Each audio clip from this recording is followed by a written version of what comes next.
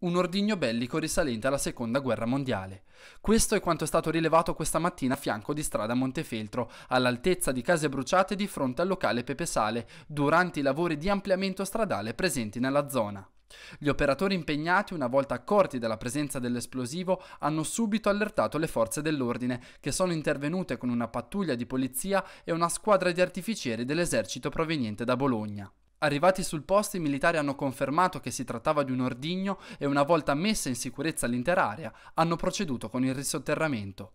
In accordo con la prefettura saranno attivate tutte le procedure del caso che nell'arco di settimane prevederà la rimozione dell'ordigno ed eventuale brillamento. Le operazioni condotte tra tarda mattinata e primo pomeriggio hanno causato qualche rallentamento di traffico, provocato anche dai diversi curiosi che si sono fermati a debita distanza ad osservare l'intervento delle forze dell'ordine.